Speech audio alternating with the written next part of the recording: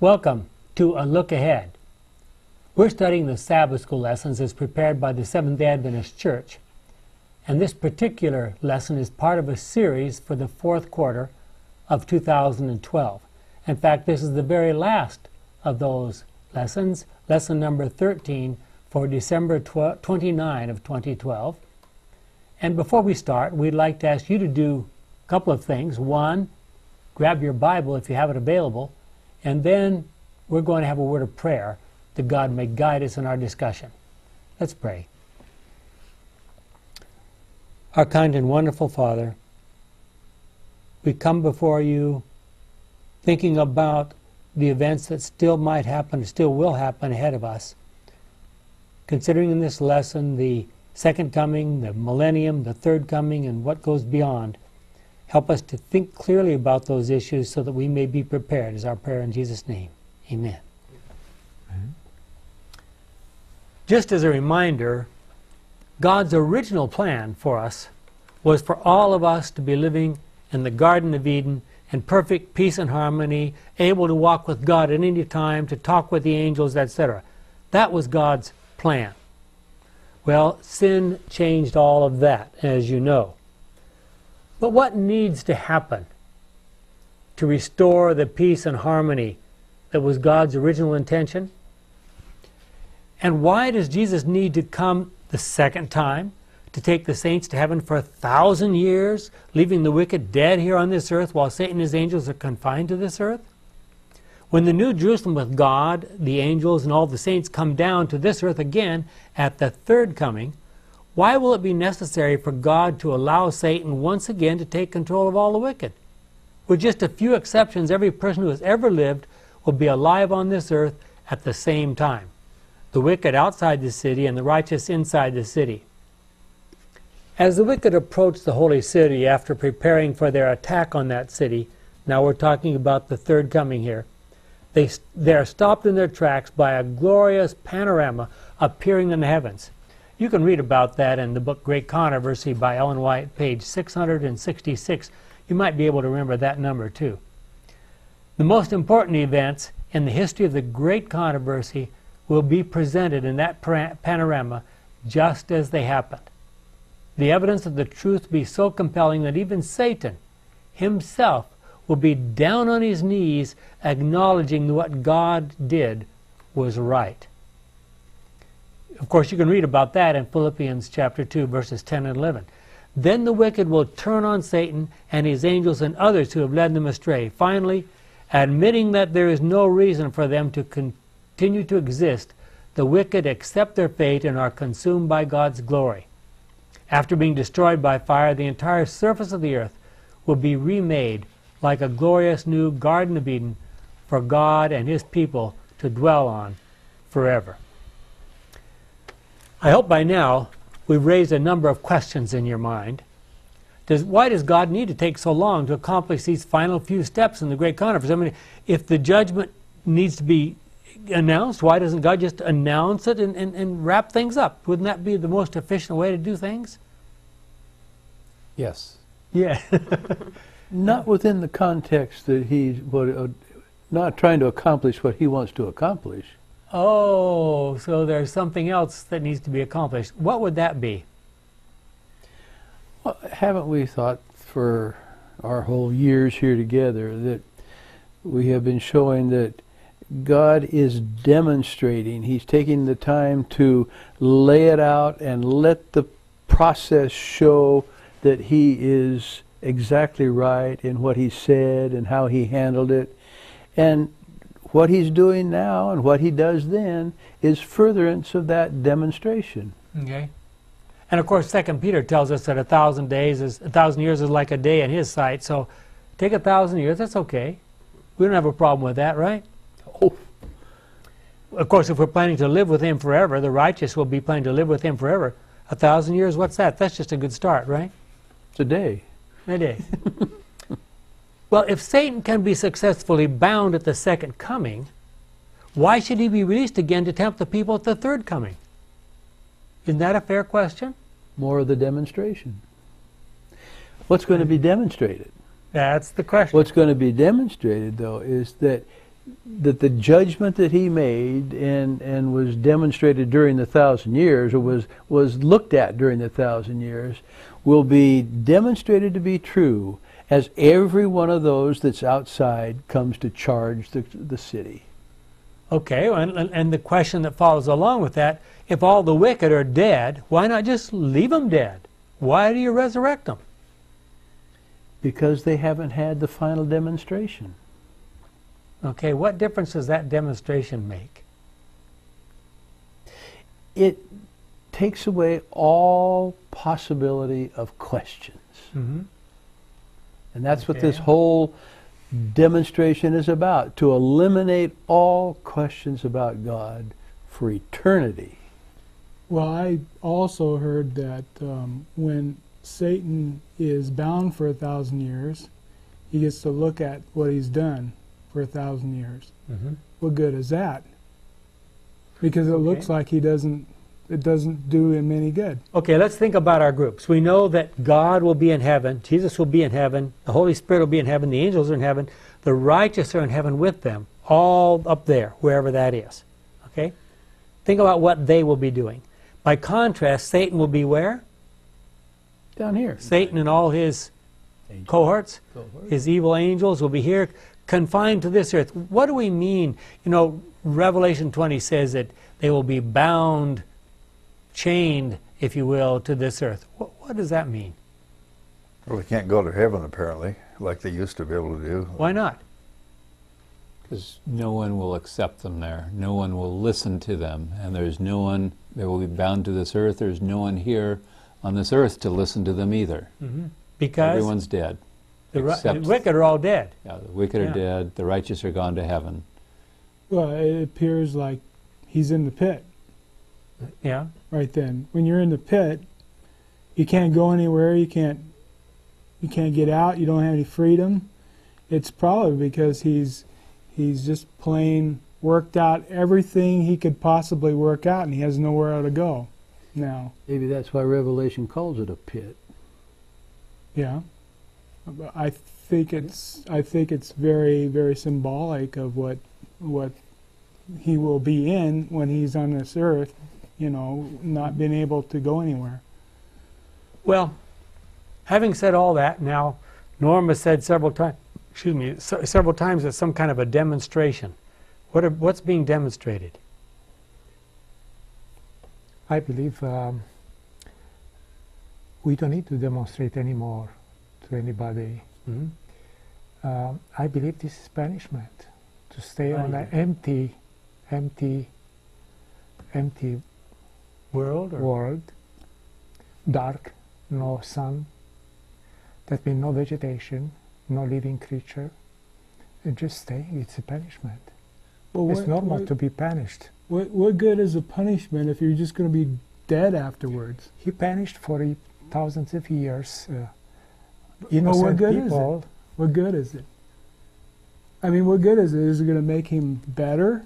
Is it going to make anybody time- worse? This is Is the it time going for to? judgment in heaven. Judgment, and after after a thousand years will be execution. But he was a creature, and a creature, by definition, is something the Creator cr- made.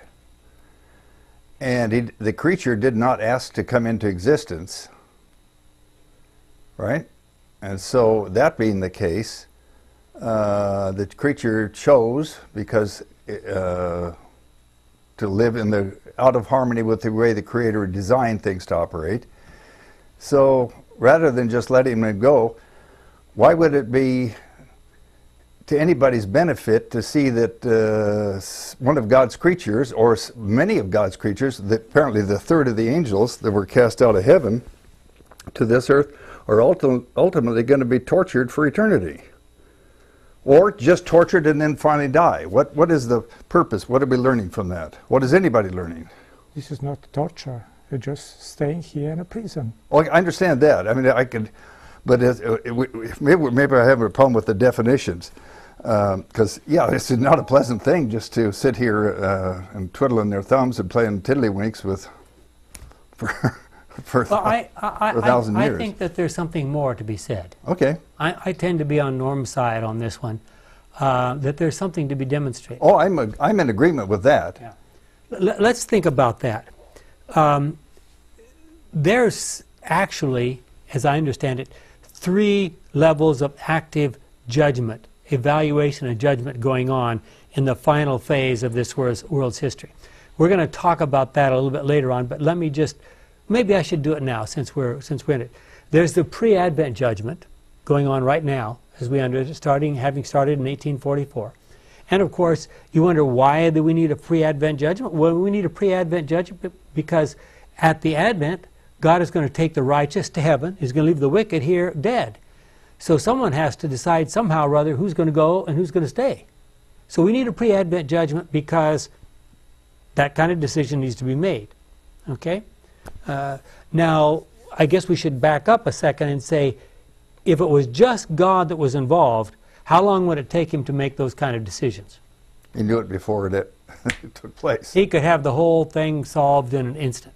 So it has to be more than God involved because obviously, you know, he knows the whole story. He's got the whole thing. And I don't know what kind of storage units he uses, but obviously he's got. It's infinite. So Yeah. here we're trying, us finite beings are trying to he- understand he, the knows, infinite. he knows the whole story. So he's taking time for other people to follow along.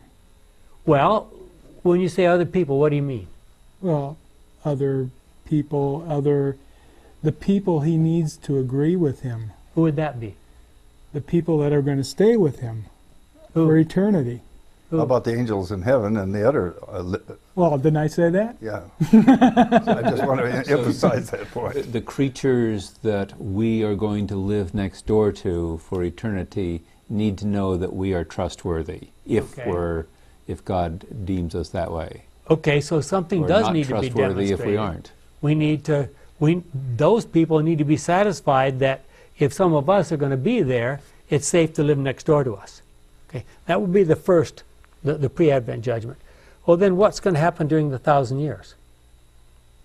Those of us who are here on earth are going to have the opportunity to understand why so and so that we think was an outstanding Christian why he or she is not there. It's a judgment of uh, wicked pe- Mhm. people. Well, and the righteous people too, because they, they're the ones who are going to be able to get. Oh, I mean, the thousand years. Yeah, the thousand years is going to be a time for the, the, the saints from this earth go to heaven and say, but we have some questions about God's judgment. Why did He do this? Why did who? Why is that person here? Why is this person not here? Da, da, da, da, da. And so this is a chance for the righteous who are there to find out. I don't think they go up there and say, We've got questions about God's judgment. Well, no. They but- may have questions that he needs to answer, mm-hmm. questions about what happened that they that they need information and they need what he knows. They need to understand as he understands, but they're not going to be arguing about his judgment. Well, but in effect, let's be honest, in effect, what you're asking is, what about God's judgment? Well, another thing that's happening is just that's going to happen is that this is the first time that men, that humanity is going to be able to live without Satan and his angels at their heels all the time. That's a good point. So um, I think what happens at the end of the thousand years, there's going to be things happening different than has ever happened before, just because Satan and his angels aren't there anymore. And, um, and that tells you something about whether sin and righteousness can live cohabitate to each, with each other. They can't. Mhm. And so I think that will be another indication that sin does need to be put down for, for heaven to continue. Okay. Then I would say after the thousand years, at the third coming, that panorama in the sky where everything is going to be shown, basically the, the, the basic story of the great controversy is going to be shown. Ellen White goes on to say that every person will see the part they played in that picture. So at that point in time, now we, we've said the angels are convinced before the second coming. The righteous are convinced before the third coming.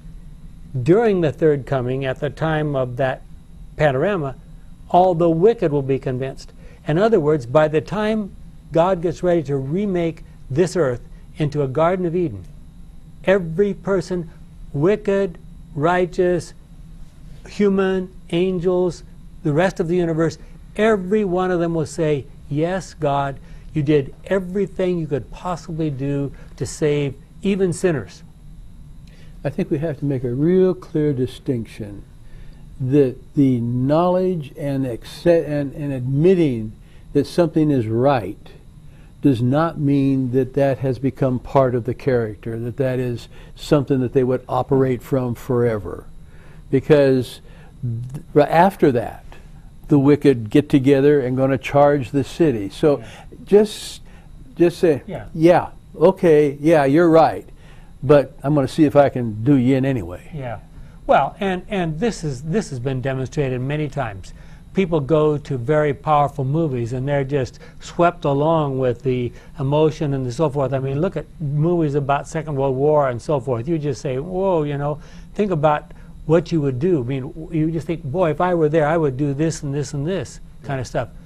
But that doesn't mean that you really want to be there. It doesn't mean you really want to. You know, you come out well, you know, we're we're, we're living 50 years after that. It's not like that anymore. 60 years later, whatever.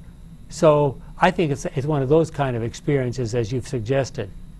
Um, Well, I, I kind of think that that kind of experience is going to happen with Satan and his angels also because I really think that when they're sitting there looking at what they've done for a thousand years and they don't have anybody to tempt, but they can actually look at what they're doing, they're going to know that what they were doing was stupid. I mean, was was just insane, and they'll probably wonder, you know, still, is there any possibility I can come back? You know. But when the angel comes and opens up the lid again, and then they can leave, they're going to find themselves going out and starting to tempt again. Mhm. And I think right then that'll tell them something that what they've become Mhm. is something that that can't be reversed. Yeah. There's something else that we need to understand. Not only the truth about God needs to be demonstrated, the truth about Satan needs to be demonstrated. And that will happen in the final events of this earth's history before the second coming. The plagues, as described in Revelation 15 and especially 16, talks about the awful things. Satan, if you stop and think about it, here's what here's what would happen. Satan would love to have claimed every person who lives on this earth as his and say, God, just leave us alone. This is our territory. He hasn't been able to. There's always been a few. And at the end, they will be called the 144,000. There will be this group who are standing straight and tall for God, and nothing Satan can do will, will be able to change them. And it makes him furious. So what does he do? He throws the book at them, trying. what he would like to do is he would like to destroy the wicked, and then claim, okay, I mean, I'm sorry, destroy the righteous, and then claim, oh well, there's only wicked people living here. God, leave us alone. This is our world. You can have the rest of the universe. Just leave this world to us. But the problem is that God will not allow him to destroy the righteous because God has to demonstrate something through the righteous, living through this kind of situation. And so Satan, in the process of the final events of this earth's history, will kill literally millions of his own people in the process of trying to destroy God's people. So that's another part of the demonstration. And Satan is in a, in a catch 22, if you will. He, he wants to accomplish what he wants to accomplish, but he can't. And it just makes him furious. I wonder though, is is there really any honor with Satan No. and his people? I mean, I think he hates men anyway. He hates humanity, even if they were on his side. I don't think that they're going to. They are a creation of his arch enemy, and they are his arch enemy just because they are a creation of his.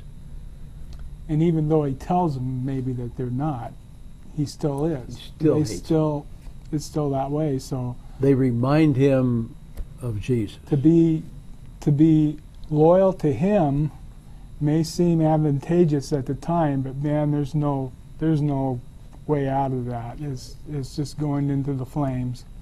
What's different between when Satan was able to go and talk to God about Job and when he would be in Bound the pit? this earth? hmm What What's the difference? What would keep him from doing what he did before, being able to go and speak to God? The, I think the primary difference is that nobody up there is going to listen to him now. And also, he was a representative of the inhabitants of the earth. And at that Or point in time, there are none. They're all dead. Yeah. I believe this is not real because he never represented the earth. Yeah. He claimed. He claimed to be the claimed. He claimed. Yeah. sure. Yeah. Well, at the second coming, just before the second coming, there will be a, what we call a special resurrection. The people who are directly involved with the crucifixion and, and death of Jesus will be resurrected, raised to life. And people who have, who, are, who have been persecuted Christians down through the years will be raised to life to see Jesus come. And again, using the words of Ellen White, it will be an absolutely incredible experience. The second coming, she says, the entire heaven, heavens will be filled with bright, shining angels. Try to imagine, you know, you look up at a, at a if, if you're out in the desert or someplace where the, where the night is really clear and you look up and there are stars everywhere, imagine if every one of those stars was a bright, shining angel. Just imagine what, the, just have the a complete sky just full of bright, shining angels. What an experience. Uh, uh, so on that same thing, on one of the stations, it said if you hold a grain of wheat at arm's length, and the Hubble telescope took a picture through the size of that, that thing, they focused on it for two weeks. And it was more dense than you see when you get out, uh, when you look out in the night sky. Yeah, I, I, a- a similar experience happened at one point back when they were in the early days of the Hubble. They, you know, they had mapped the sky. They had a pretty good idea what was up there, and they said, "Well, why don't we just focus for you know a, a period of time? I it was a week or something, on a pick the biggest spot we can find in the sky where there's nothing. where there's nothing. Okay, so they focused the Hubble te- telescope on that spot where there was quote nothing for a week, and they came back, and I've forgotten the exact details, but there were thousands and thousands of stars, and I think 17 galaxies and so forth in that, in that spot where there were nothing. So if there was an angel for each one of those, it'd be a bright sky. It would be a bright sky. It's and, and, and just to finish up what I was going to say about the the demonstration. Um, what are we going to spend the rest of eternity talking about? A lot of things, but do we? There's a few things, a few things that sort of stand out and are talked about in the Bible and about, and especially in the writings of Ellen White. Do you know what they are? Oh, the righteousness of God Okay, has no end. and how is that demonstrated? Via the plan of redemption. we will spend much a good share of time to the rest of eternity talking about the plan of salvation and everything that God did which means that the record of all sins has to be preserved otherwise if you're going to talk about the plan of salvation and you say that all sins have been wiped out as I was taught when I was young we're going to have to destroy all Bibles. There's going to be a huge Bible burning when we enter the, the New Jerusalem. So what? We will be leaving Bibles. let, let me let me go a little different direction. What if all of the sins of the wicked were available, but the sins of the righteous were gone? Would not there be sufficient evidence of how wicked the wickedness is without a demonstration of the righteous wicked? But then Okay, you wouldn't get the um, the fantastic stories about Yep, people plan that of have, salvation. have have been converted. But converted. anybody back. could say, I was one of those and I was changed by the grace of God. What, what's, what's, what's David going to say to Uriah when Solomon walks up to him? Oops. Question? Oops. If you're not going to I wish I could remember what happened. I, I don't remember. You say you're his son and, and, and you're Bathsheba's daughter? Well, Bathsheba used to be my wife. How, how did that happen? I'm sorry, I can't remember. If there, No. if there wasn't, a, re- excuse me, if it were possible to just have God make claims he wouldn't need any records. And and there's if you don't need the records, you don't need to have this all this experience. God mm-hmm. could just make claims. So there's there's some reason why these thousands of years of, of demonstration have been going on, and that need, evidence needs to be preserved. Yeah. Yeah. I, I think that that the transformation that takes part, that takes place in all of those who will be there, that those kinds of earthly questions really won't be an issue, and that Uriah and David and uh, Adam and or Cain, uh, not Cain won't be there, but but there's those who we in this world see as such contrast, such injustices done, that those will pale into insignificance in the glory that they are that they are living at the time, and those won't be necessary. I agree to a point, but also when uh, when Jesus was asked which one which one of my wives is going to be with me in heaven, and he said it's not going to be that way. Yeah. Because I don't think our concept of heaven is what it's really going to be. I don't Yeah. think we can begin to imagine what it's going to be. But our, our minds will be so filled with the glories and the and the things that are there that these kinds of questions, what on earth did you do to my wife or that kind of stuff, just will not enter the mind. But part of what makes that experience glorious is the fact that we came out of this mess to get there. But we got on all all the records of the wicked to show how nasty it was, and we were part of it. But we want to see how someone came from that to this. I think that's earthly talk. Well, if, if our mind is recording all the time, that means they are stored there. We are using al- only a little bit. But when we have a full mind there, we have all our personal story very clear. We are talking about that. mhm.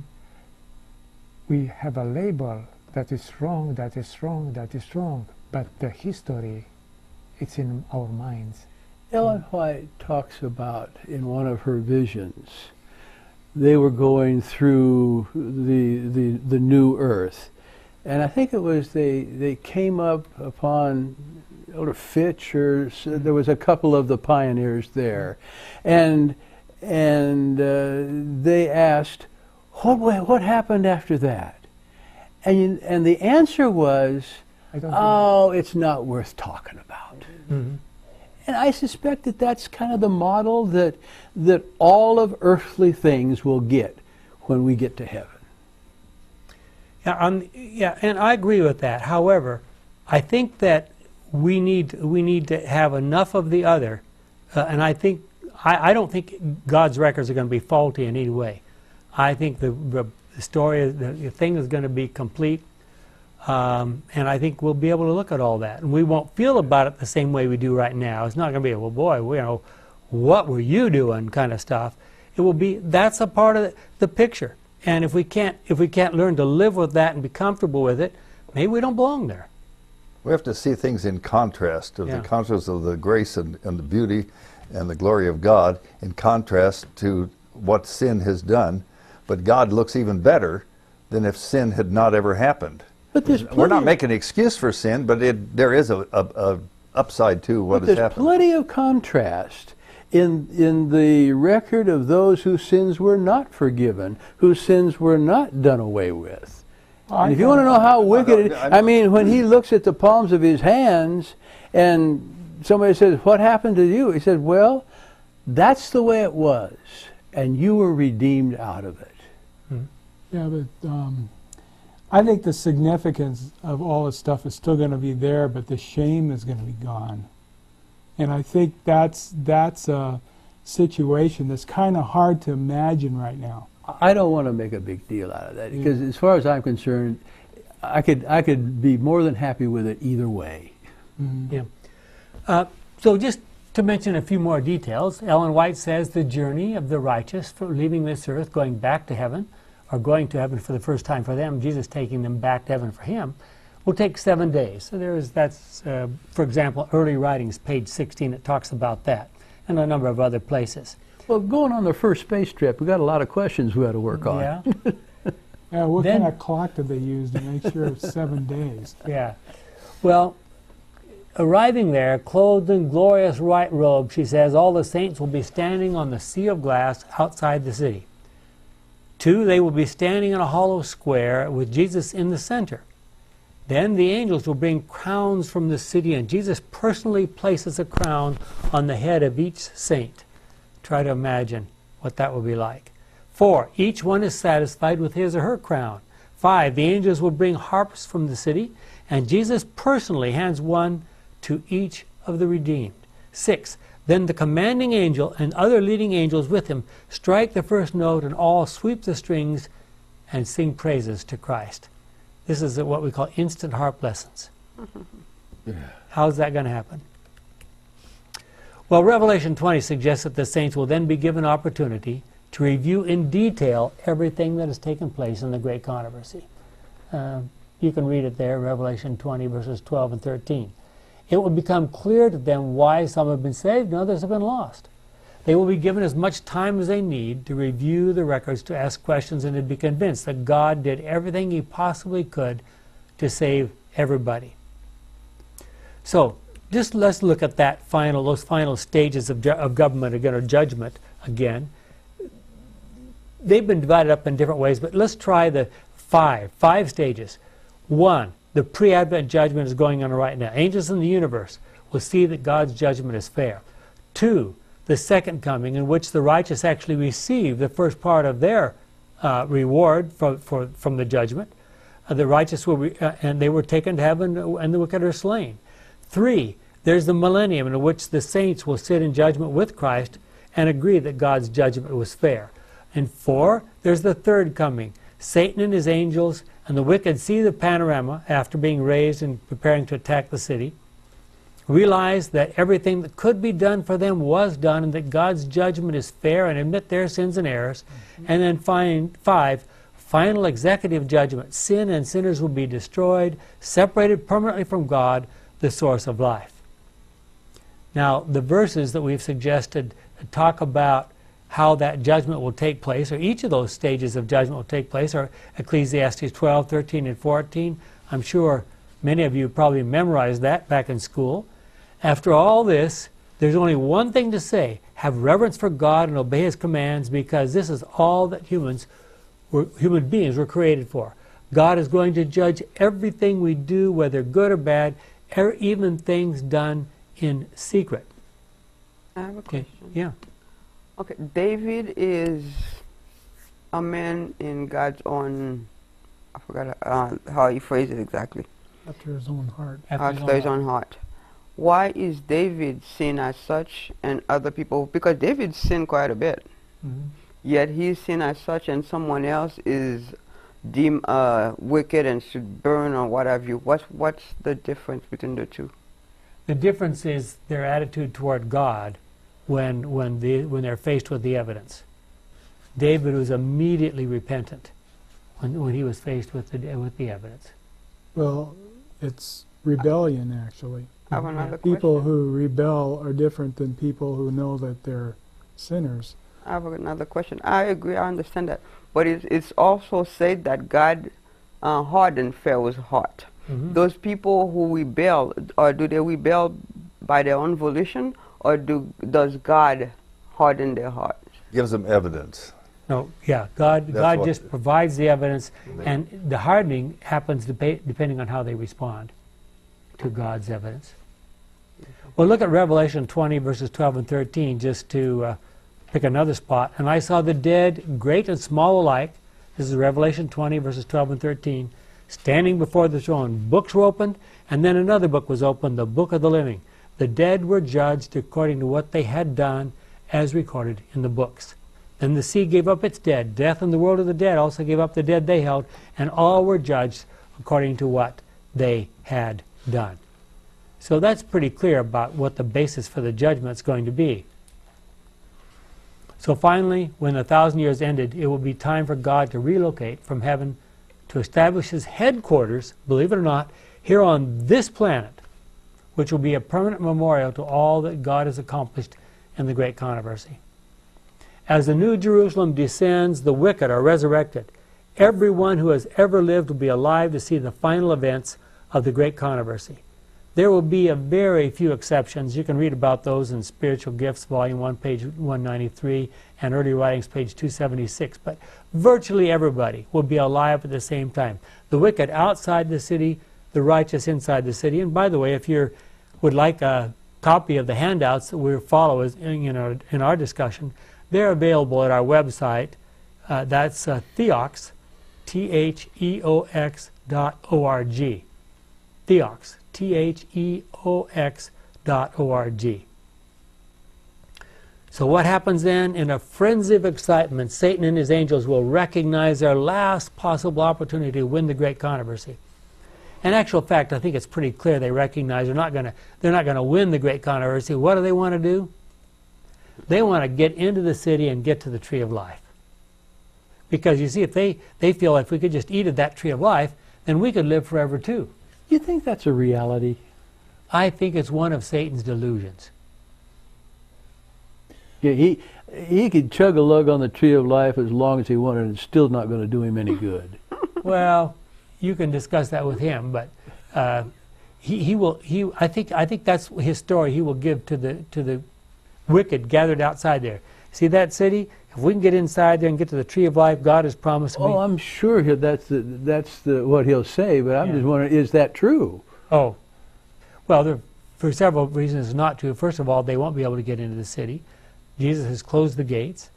Um, secondly, even if they could, as you suggested, it probably wouldn't do them any good. I suspect that's true. Yeah, so You know, for, for us, any of us to survive, to live, we have to have a connection with God. And Satan has rejected, is rejecting that connection with God. He's going to unplug the ventilator, And eating of, that, from the power. eating of that tree of life has certainly been talked about as for the healing of the nations. And I mean, Adam and Eve were driven out, and the and the symbol is so they couldn't get to the tree of life. So there's a lot of mystique about Yeah, that. it did say though that if they didn't take it away, they would live forever, even if Yeah. they've sinned.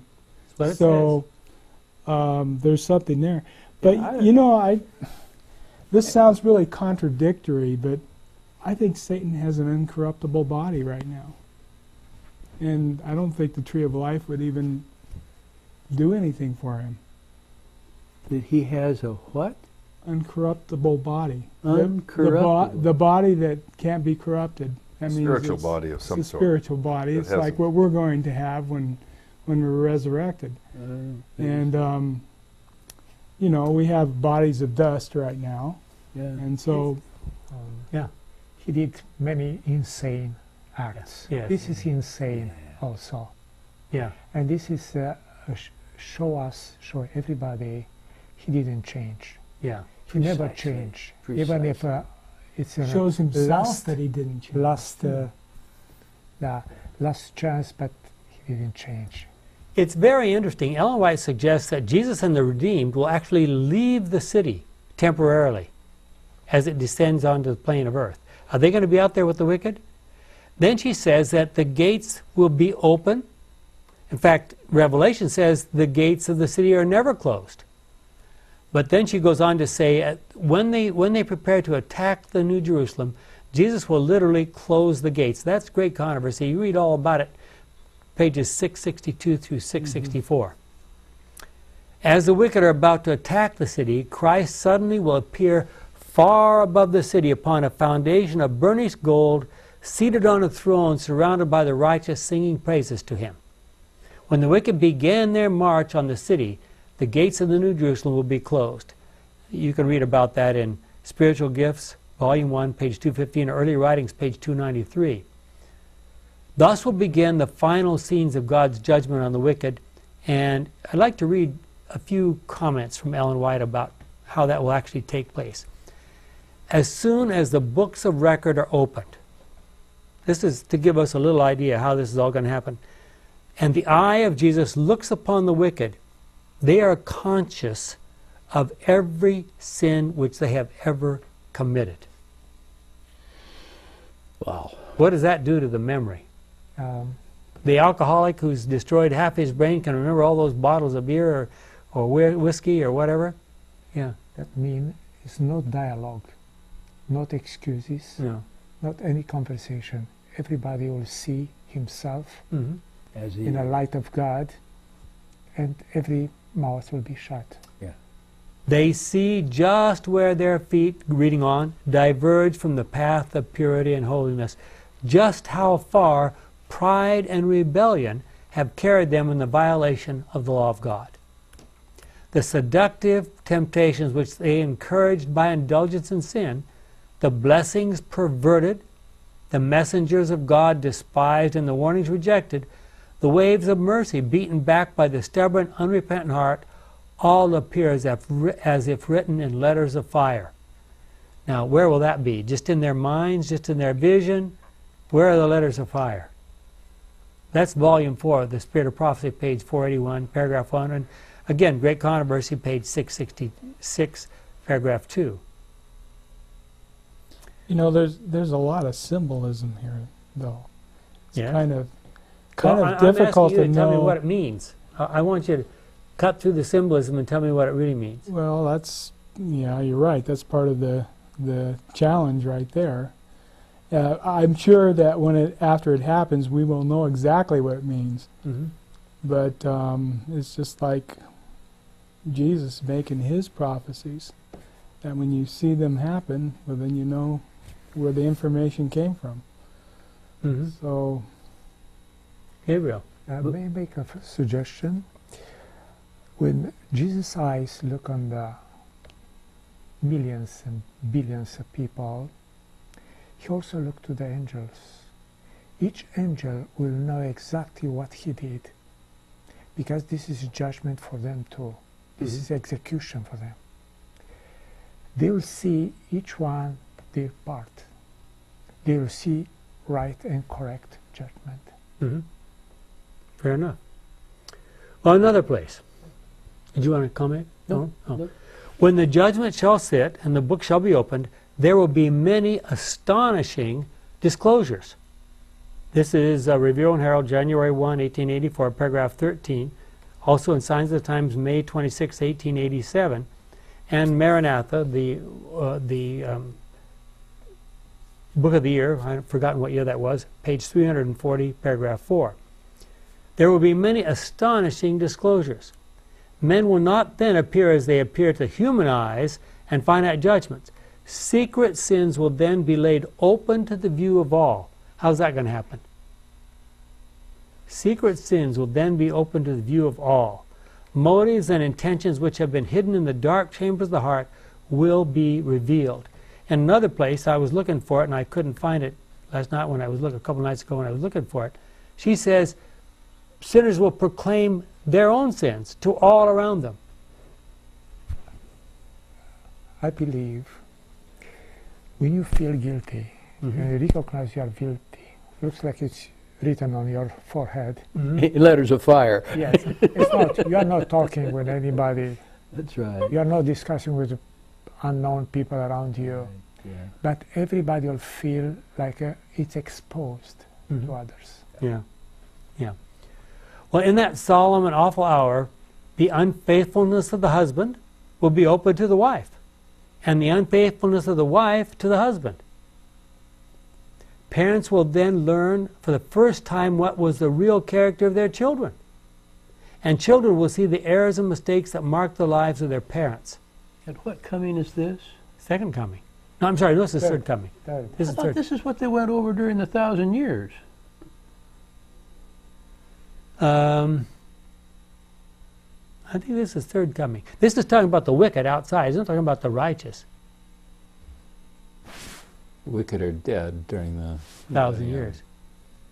This is talking about don't this, this this talking about the wicked outside the city. you can still be talking about But it. it's, it was the righteous going over the records of the ones that they thought they loved that aren't there. Isn't that what we're talking about here? No, this is talking about the wicked outside the city when Jesus focuses on them at the third coming.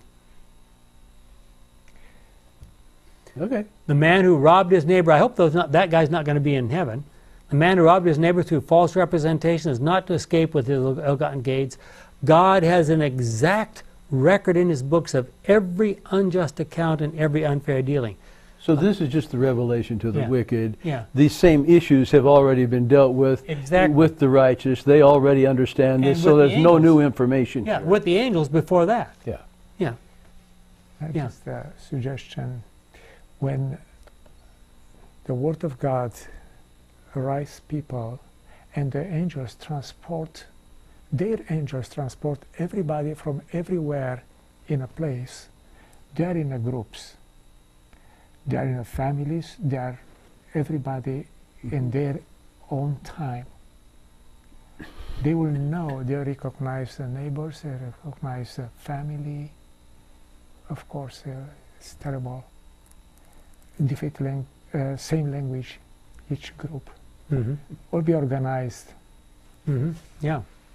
Well, in this panoramic view, the entire sequence of the Great Controversy will be presented for all to see. Volume 4 of the Spirit of Prophecy, page 41 and 42 in Great Controversy, 666 and 667, and some other places.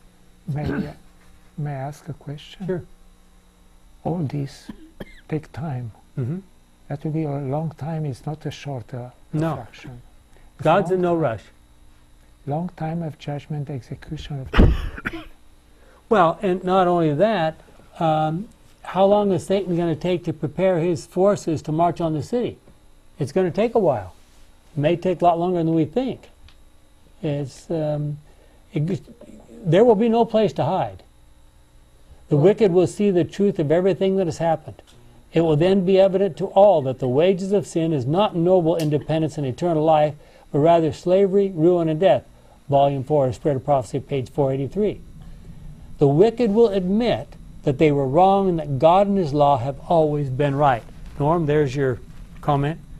Yeah. Satan sees that his voluntary rebellion has unfitted him for heaven. He has trained his powers to war against God. The purity, peace, and harmony of heaven would be to him supreme torture. So hard, un- hard to understand how you can come to this understanding and then have that still true. I, Dr. Provonsha, Jack Provonsha, used to be one of our professors here at the university a number of years ago, used to say this, and I think it gives me a, a little hint about how you could explain this.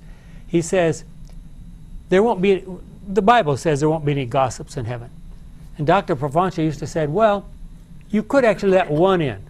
But then if you let one gossip in heaven, it would be hell for him. Nobody would listen to him. so, okay. The point is, characters are not changed Yeah. by this knowledge that they get at that point. Satan's accusations against the mercy and justice of God are now silenced. What, by what? By the evidence, right? Yeah. There's the evidence, and, and everybody sees it.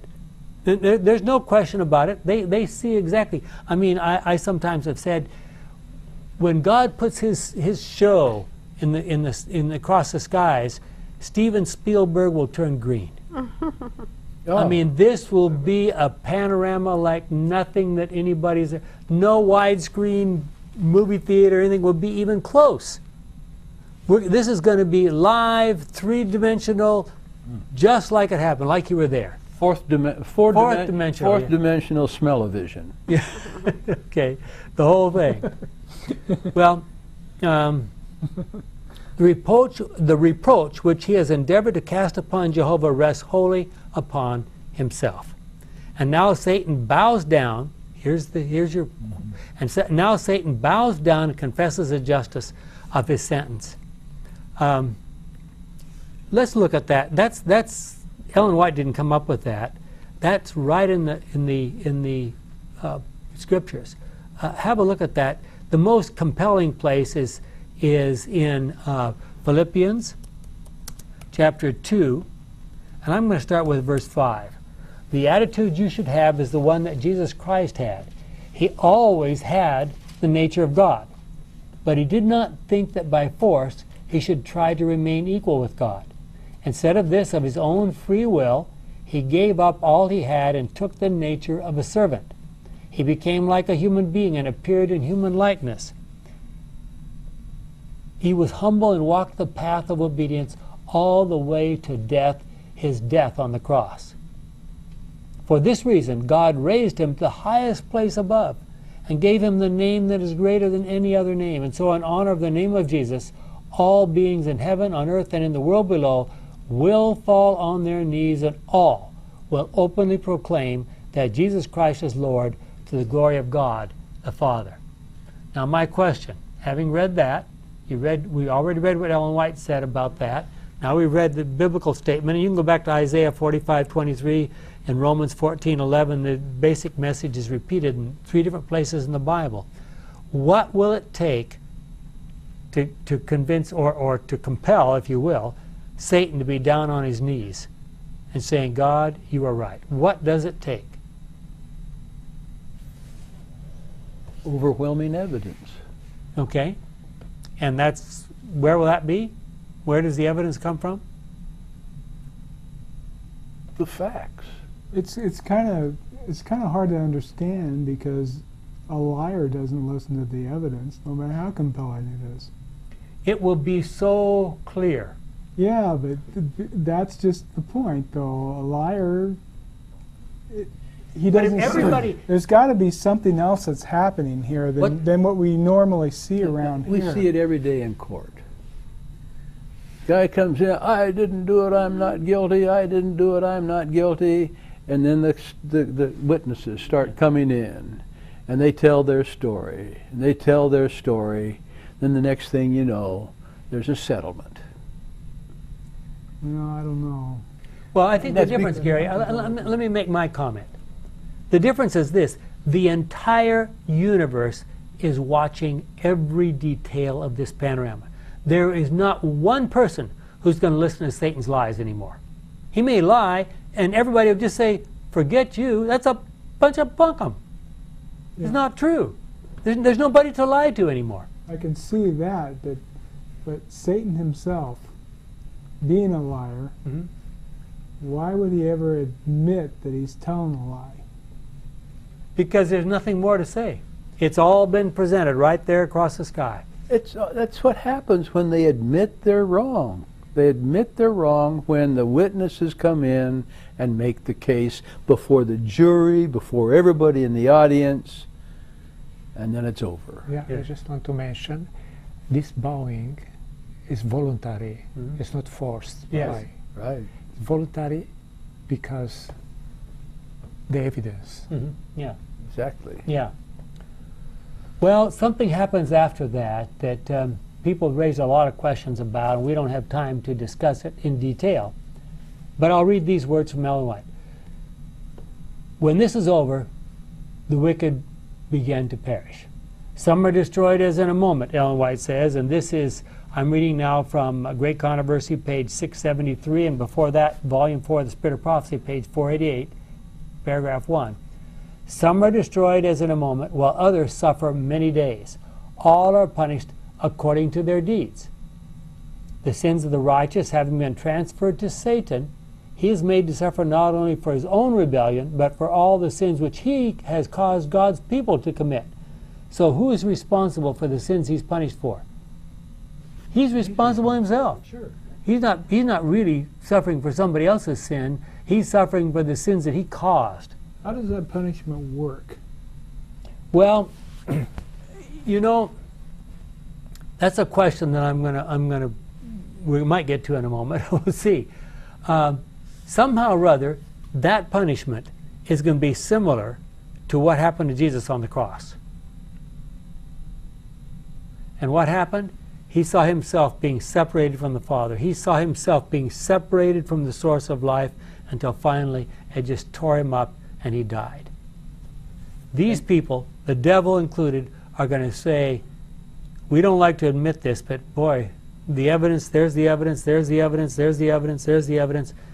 And they're going to think about it and they're going to think about it until finally they say, You know, there's no reason for me to live anymore.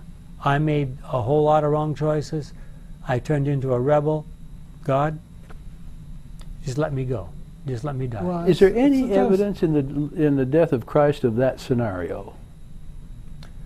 Well, yes and no. Here's the problem with the death of Christ it happened in total blackness. We No human being saw what happened. Well, we can't make anything up then, so let's leave it at that. Well, I mean, we have the I- record of the inspired writers. Yeah, and, and the point was when he felt himself to be to, he, that maybe he's going to be totally separated from his father forever. His human anatomy and physiology could not survive that, Yeah. and he died. Uh, now, I expect Satan and every wicked person to die from that same Yeah. neurophysiologic problem. Yeah. Well, that's just physical, though. That isn't really coming from a sin or what they've done. I, I'm just thinking that possibly, whenever a knee shall bow, I don't think it actually says that it's going to happen at the same time. That these things are going for some people, it's going to happen longer than others, and that's the that's the length of these. Well, it could be. I mean, Okay. Well, we need to, we're running out of time here. Let me just finish that paragraph. The full penalty of the law has been visited, the demands of justice have been met, and heaven and earth, beholding, declare the righteousness of Jehovah. That's your demonstration. Yeah. All of this is necessary to complete the answers, reading on in our outline now. All of this is necessary to complete the answers to Satan's accusations in the great controversy. No questions must be left in the minds of anyone, not even of the wicked, about the truthfulness and fairness of God's government. There is no reason for Satan to be released at the third coming except to clarify in the minds of everyone that God has always told the truth and that Satan is the father of lies. There must be no lingering doubt about God. We often think of sin as being confined to this earth. Remember, sin began in heaven. And then, after it developed and so forth, God developed his plan, his original plan of, to create a his original plan to create a beautiful world was spoiled. We know about that. But this new earth will be way better than that old Garden of Eden because now who else will be here? God the Father, God the Son, God the Holy Spirit. The angels will all be, in effect, living with us in the Garden of Eden together. Sin, suffering, disease, death, decay, and rebellion will be eliminated forever. Revelation 21, you know, gives you a very brief picture of what the new earth will be uh, like. And I like to read this final quotation A fear of making the future inheritance seem too material has led many to spiritualize away the very truths which lead us to look upon it as our home. Christ assured his disciples that he went to prepare mansions for them and the Father's house. Those who accept the teachings of God's word will not be wholly ignorant concerning the heavenly abode. See you there.